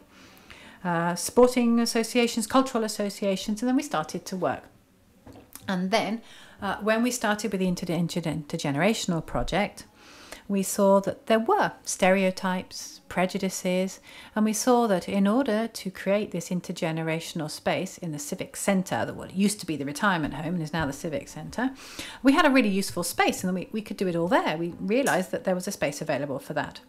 So uh, we also set up a second Gizarte Lab project with the help of the Provincial Council. And in this group, that was had participated in the first group, but we rung them again. Um, the Retirement Association, uh, Usilan Association, uh, Women's Associations, and other people as well. And we called them and we set them a challenge. What was the challenge? Well, we said, right, you need to get this intergenerational space up and running. But obviously, first of all, we had to identify the stereotypes that we were trying to overcome. So we said, so, okay, so what are the stereotypes that we need to overcome in order to set up this intergenerational space? Well, we identified a series of actions, uh, experimental actions, and now our aim is to uh, set up a third Gizarte Lab because people are really happy with it. As well as participating, people learn when they do this. In these projects, people learn. And in this case, we use uh, the methodology used by Eusko Ikaskuntza. Uh, we, we offer knowledge, but we also acquire certain skills. And the meetings last for about two hours, and we always share some kind of thought, a reflection. Uh, we give each other food for thought, and uh, it's a really good opportunity to learn different methodologies, and people are really happy and they participate. Well, I know that that's true because different studies have shown that groups that have people from different generations are more efficient, they're more effective, Yes, in the case of ISEA, at the beginning of the project, we did carry out an international study to try to see what other countries had done or what had been done in other countries, what good practices or best practices were out there. And we saw that in the northern European countries, this type of initiative already existed and they had existed for some time. So I think we can say that they that it was sort of like a springboard for our success. Uh, it's really important uh, to to achieve participation for these projects to be a success. And as well as everything that we've mentioned so far, we should also say that uh, students from the University of Mondragon also participated. These are people who had just uh, finished uh, an engineering degree and were studying a design master's degree. And we also worked with students from the University of the Basque Country, from the Design Centre at that university. And all of these students, these graduates, have helped us to design this space so that it really is an intergenerational space. And they said something which was quite curious. They said to us, a space like this needed to have a place that was Instagrammable in order to attract young people. I thought that was quite curious. Because, uh, of course, you know, well, how does Instagram work? I don't know. Uh, but they said, okay, well, it has to be a place where we can take photos so that we can upload them to social media or in TikTok. And this is something we didn't have and we hadn't even taken into consideration. We have to attract young people. And uh, they said this could sort of, you know, like be a hook on the end of your fishing line to bring young people in. One of the keys to the project has been collaboration. And that's why Koldobike was saying that uh, we've been working with different institutions. Different institutions have been working together, public-private associations. We've also been working with university students. Because at the end of the day, we said if it's a project for citizens, uh, we need to have different stakeholders involved. And thanks to university students from Mondragon, we carried out a brainstorming session. We generated lots of ideas to try to promote different actions and activities in this new space, in this new centre. And then with the students from Iriarte, the design centre in the University of the Basque Country, um, we we have given shape to this uh, to this space and to sort of break through and debunk the sort of the stigma that was that was holding us back the stigma so um, you've done fantastic work but is the space up and running no not yet it's just been identified what do we need to do now? Well, students have designed us, a designed a space, but we actually have to make it a reality. Fantastic. No, you must be really eager to see this space, you know, with your own eyes, because experience so far has been very rewarding. Yes, experience so far is incredibly rewarding. It's an experiment. Uh, it's trial and error. We started with this project when we thought that in the building that uh, I was talking about, we could create an intergenerational space. And then the inter, the university student said, no, you can't do it there. It has to be in the, the civic centre. This is what happens with experimentation. It's trial and error. You try something, it doesn't work. You change track and try something else. That's just what you have to do. You have to be flexible and adaptable. And now uh, we're thinking of setting up another Gizarte Lab, another social laboratory because we want all the ideas uh, that we've been working on to become reality and they want to turn them into actual actions. Now, in principle, uh, right from the very beginning, we thought about the scalability of the project. We wanted it to be a project that is repeated in different municipalities in Gipuzkoa, and we could actually create a model for a public-private space that can be copied and adapted to different places, or that could be transferred to different places. So that's what I was actually going to ask you to just close uh, this particular part of today's session. Have you, uh, I don't know, has have other places called you wanting to copy your idea? Well, in the case of Gipuzkoa, the provincial council set up a project which aimed to promote collaborative governance. And uh, what has that taught us? Well, it's taught us that there is another way of governing, that there are different ways of governing and that you can govern openly in an open manner. And that's what they've taught us. They've taught us that there are different ways of governing. This is what the provincial council is doing with a number of different local councils, and that's what we're trying to do also in our municipalities. In Etorkizuna Eraikiz, Building the Future, there's a project in which 11 municipalities are involved, and the different experiences that we're carrying out in our different municipalities, we share them with other municipalities so that we can learn from each other. And if it works in one, well, we'd adapt it to ours. so we sort of make the most of the work carried out by one municipality so that we don't have to reinvent the wheel every day. That's what's good about this. We experiment, and if something works, then we copy it, we scale it up, and we, you know, disseminate it to other municipalities. So from Legazpi to the Basque Country to the world, and back to Legazpi again. Thank you very much indeed, and congratulations to both of you. Bueno, eta Legazpitik Suitzara joko dugu. Right, and from Legazpi to Switzerland. I think on the other side of the screen we have our two guests. We have Leire and Agnès, and we're going to now learn about the fantastic work being carried out by an NGO in Switzerland, uh, where we have two Spaniards working. It's called Child Rights Connect, and it is fostering the participation of children and young people uh, through different practices which aim to empower them. So, good afternoon, Leire Ibañez and Agnès Gràcia. Hello, good afternoon. Can you hear us okay?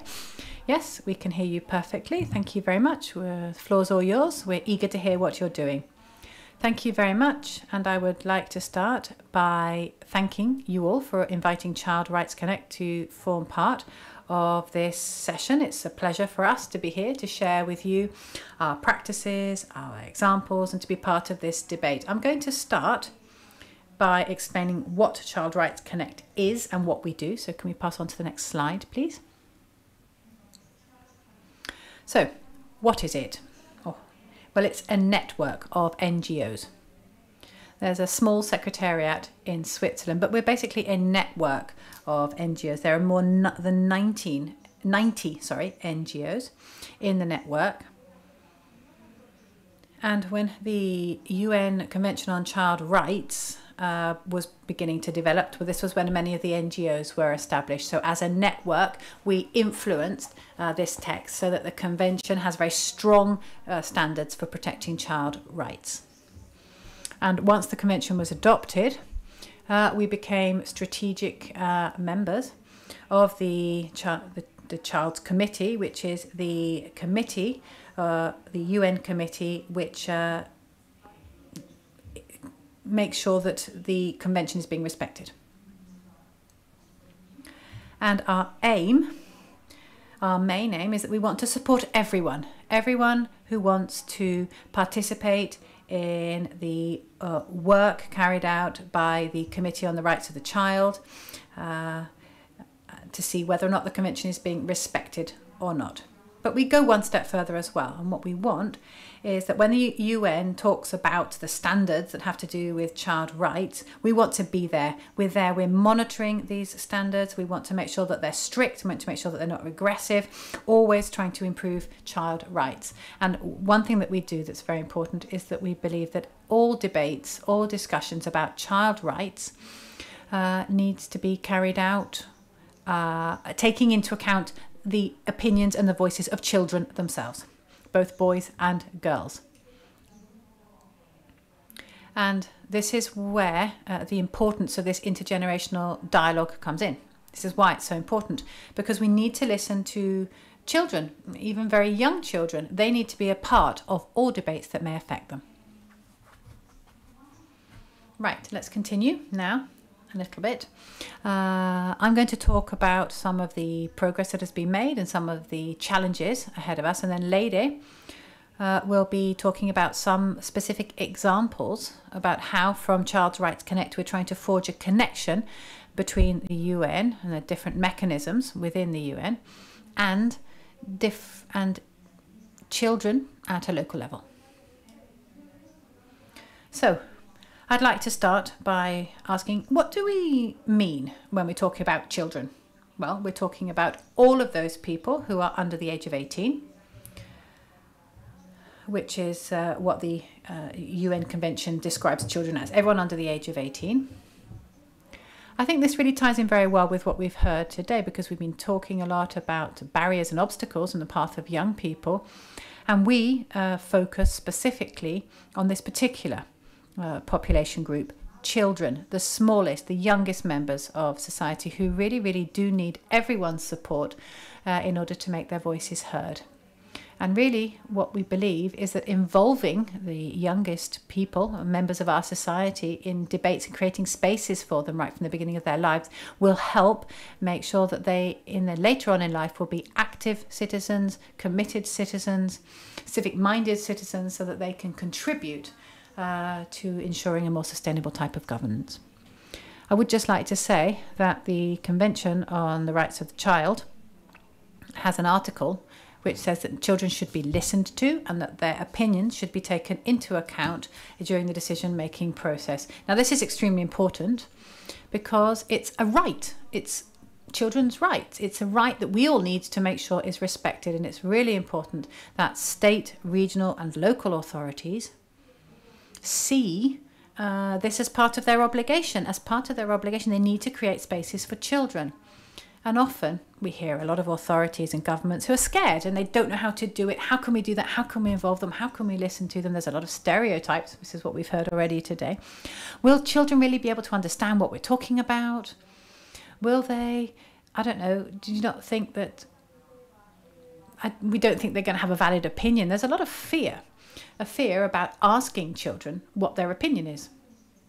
And many people think, well, they're not going to understand what we're talking about. It's really technical. But we've seen that that's not true with our own eyes. That children always have something to say, and their opinions are really important. And it's important that all authorities uh, keep this or, or, take notice of, of these opinions. And we shouldn't be scared about asking children what they think. You just need to find the right way to find to create spaces for them so that they can contribute to the decision making process. Now, what I'd like to share with you now is our experience asking children uh, about what challenges they see uh, when they think about joining in with society, raising their voices, and contributing to debate.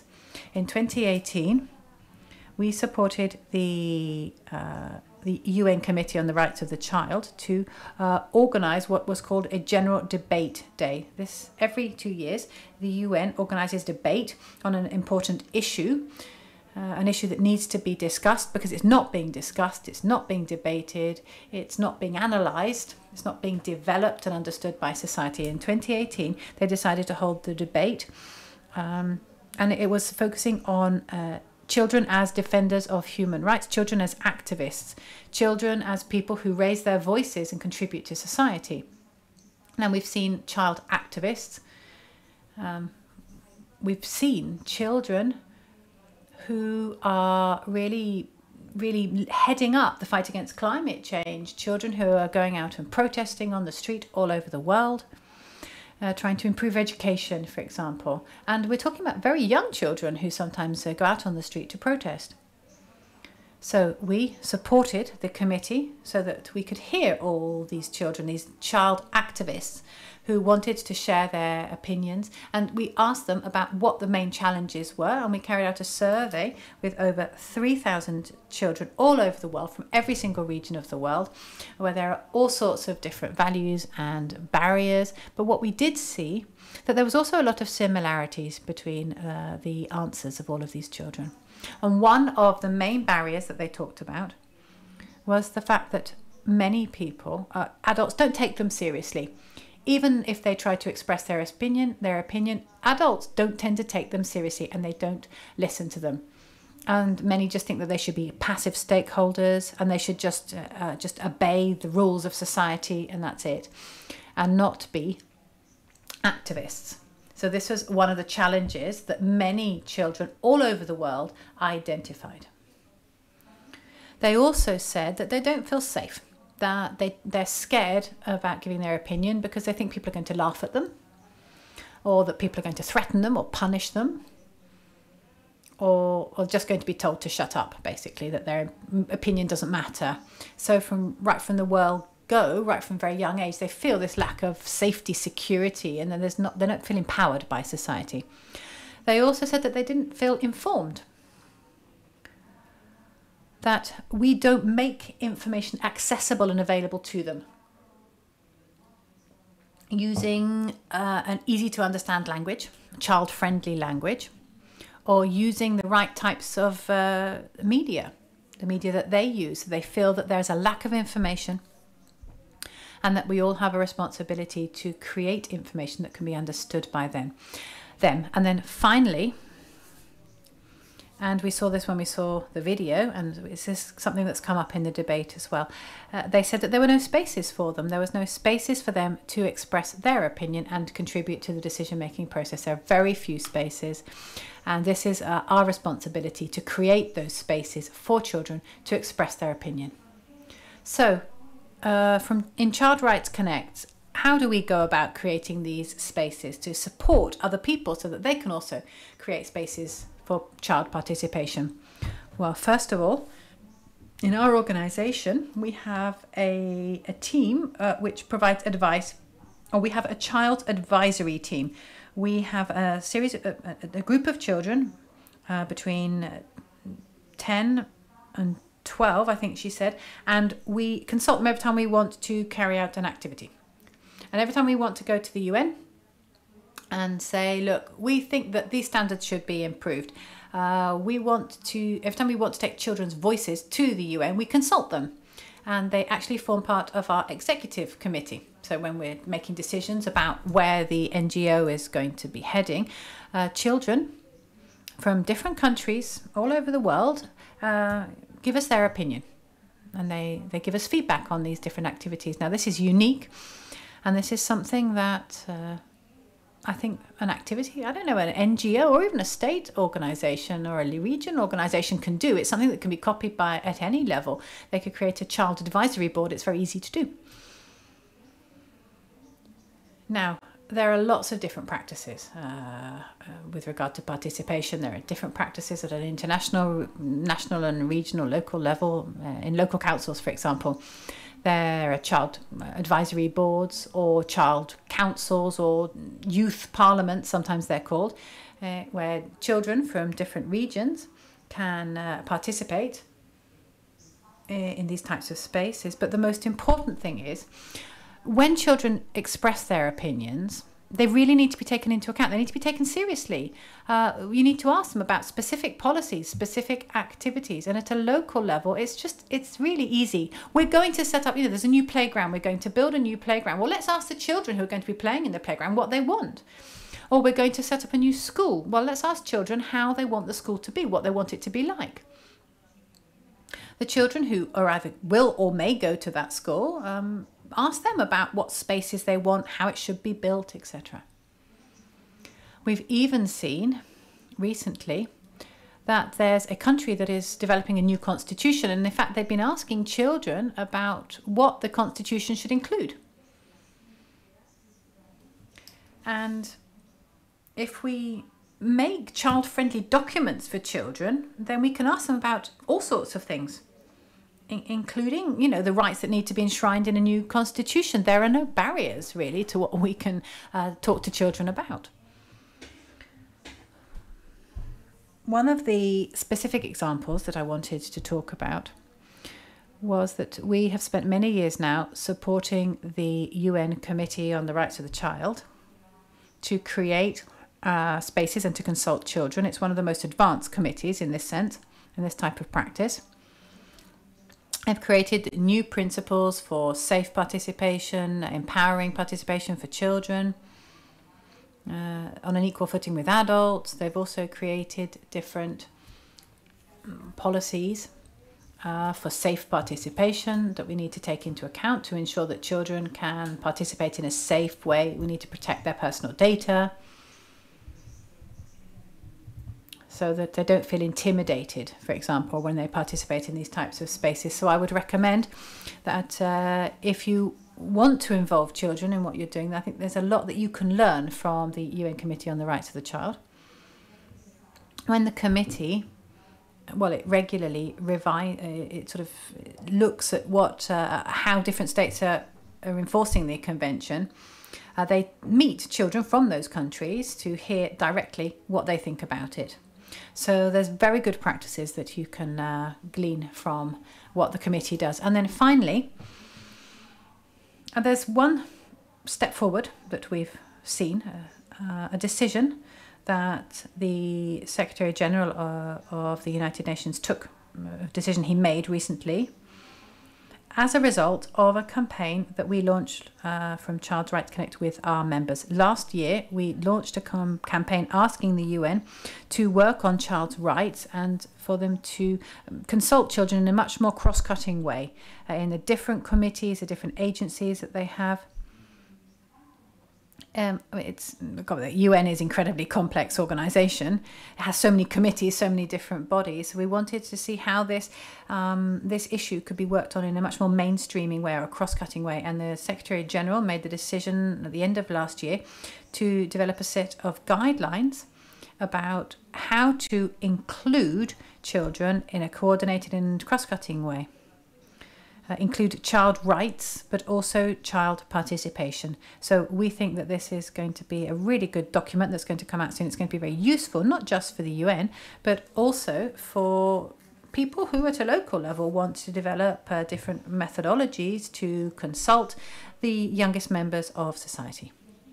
So that's all from me. Uh, that's what we do to consult children and to include them in our debates.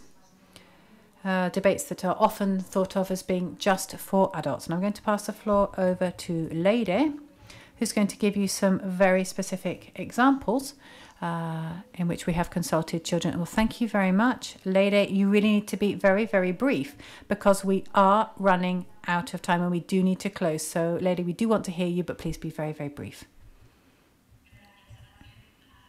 Thank you, Arratsaldeon, as you say in the Basque Country. Thank you very much to the organisers of this debate for having invited us to participate. My name is Leire Ibañez, and here with my colleague Agnès Gràcia, I work at Child Rights Connect. In my presentation, I'm going to just give you some very brief examples of what we can do to incorporate the voice of children in different issues uh, within the UN. I don't know if we can perhaps move on to the next, I think slide number eight, if that would be okay. Can we do that?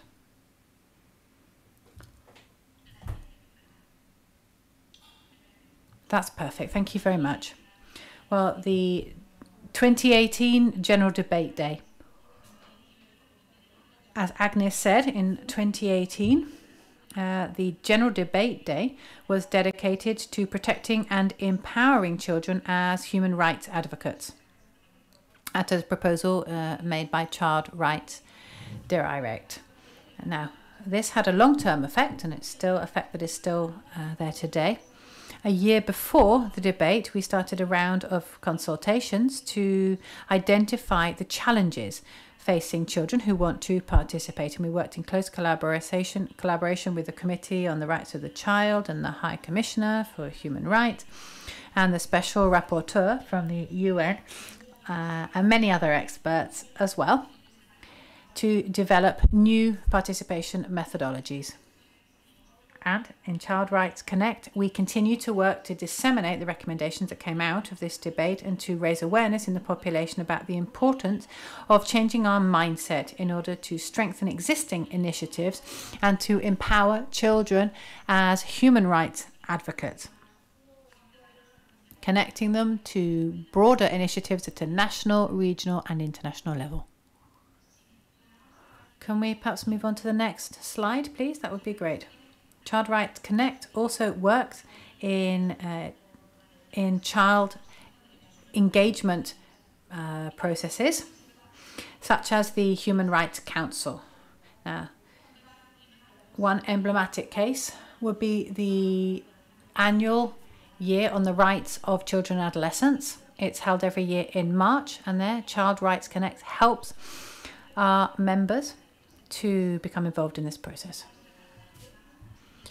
We help this dialogue to take place, creating an ad hoc group of different experts who are interested in the issue that's being debated so that we can contribute to organising the panel for this debate, including different children and also the uh, negotiation of the resolution.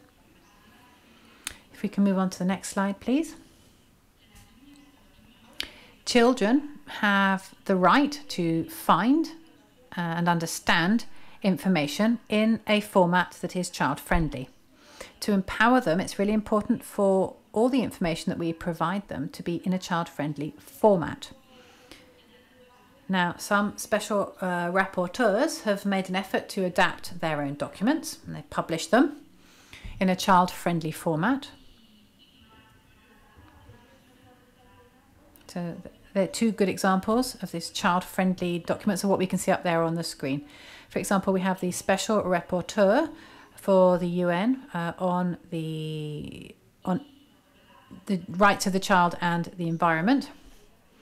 And then there's another report issued by the UN about uh, violence, about solutions to put an end to violence against children. So this is information that can be used and understood by children. We can move on to the next slide, please. On the 5th and 6th of April this year, children from all over the world participated in the child consultations carried out by the Committee of Economic, Social and Cultural Rights. This uh, consultation well, involved a debate about sustainable development. It was an innovative experiment uh, because the committee really understood the importance of including the voices of children in a committee that really isn't used to hearing from children. Uh, because here we're just talking about economic, social, and cultural rights. We're not talking about anything that has to do with children. And more than 160 children and young people from over 30 different countries participated in the consultation, and the participation of children was very diverse, uh, with children of very different uh, origins uh, immigrants, refugees, um, uh, homeless children, children with disabilities, many, many different types of children, uh, aged between 7 and 16. And there were also some uh, people who were over 18, but they worked as facilitators. So, on to the next slide, please. Now, uh, we're here, we're talking about the Sustainable Development Goals, and uh, we work with organisations at a local level to include children in the achievement of the Sustainable Development Goals so that we can include child's opinions in everything that we do there. And just now to conclude, if we can move on to the last two slides, that would be great. This is uh, my conclusion now. The experience that we've explained to you today, we believe that it's the way forward if we want to ensure um, greater collaboration of children in uh, decision making and decision policy making decisions in order uh, to minimize negative impacts of these policies on children. Uh, here we're talking about all sorts of different issues, uh, the environment, violence, etc. And in Child Rights, uh, Child Rights Connect, we try to make sure that the standards of the Convention on the Rights of the Child are recognised and enforced. And we want to work, we're working towards a safe, empowered and informed participation of children. This is AOC, a long-term goal and it will depend on the development level in each country. That's all from me. Thank you very much. Uh, Thank you very much for your attention and thank you very much for having invited us to participate in this very interesting and very necessary forum.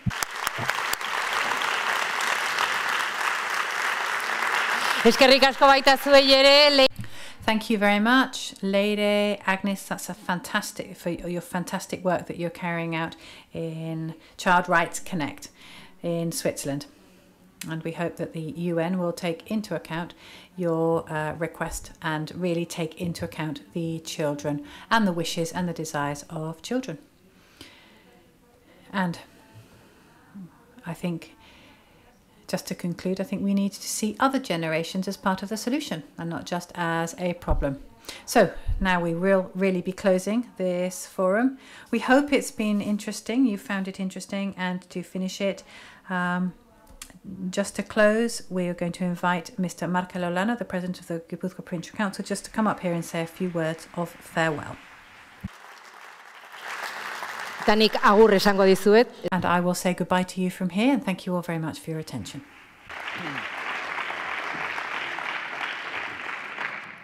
Bueno, aurrera. Right, it's getting late.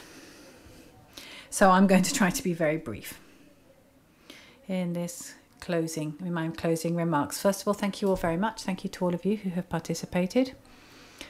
Uh, the people who have been talking about intergenerational dialogue, uh, the, our visitors from Legazpi. I think all of you have have been very clear. Your presentations have been really interesting and they've really helped us to understand a little bit more this issue, which is so necessary for social cohesion. I believe that this collaboration, this intergenerational dialogue, is absolutely necessary for social cohesion. And really, just to finish very briefly, I would like to say that as a person who loves music, and I love the Basque band Oskorri, and the bass band Oskorri has a song in which it says that intergenerational dialogue is necessary. And in this song, what does Oskorri say? Oskorri says that we need to pay careful attention to young people, to children.